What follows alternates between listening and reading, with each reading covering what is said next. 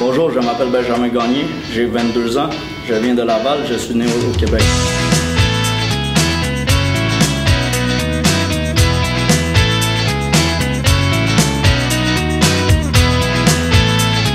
Ici, on a un limo de saltado. J'ai ajouté mes petites touches personnelles. J'ai amené une purée péruvienne, des petites réductions balsamé, mais j'ai gardé ça simple.